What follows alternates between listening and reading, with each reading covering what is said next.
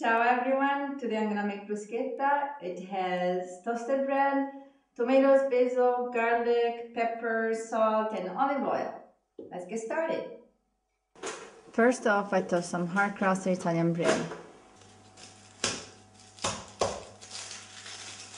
Then I chop up a clove of garlic into thin slices.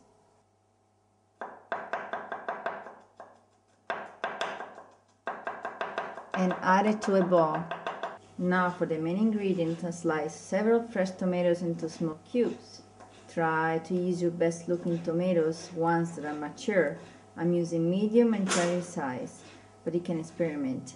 When you're done slicing the tomatoes, add them to the same bowl as the garlic. Next, I cut up some fresh basil and add it to the tomatoes and garlic.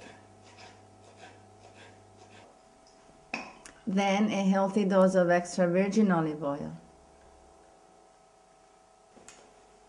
Now that my bread is toasted, I'm going to rub a garlic clove over the top. This will leave a taste of fresh garlic under the tomato topping.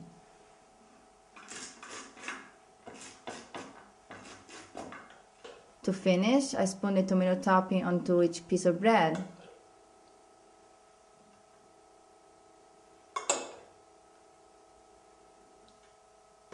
Then I add a spoonful of the leftover infused olive oil from the bowl.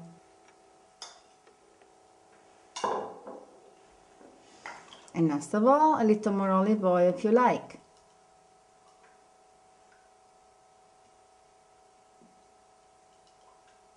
Buon appetito!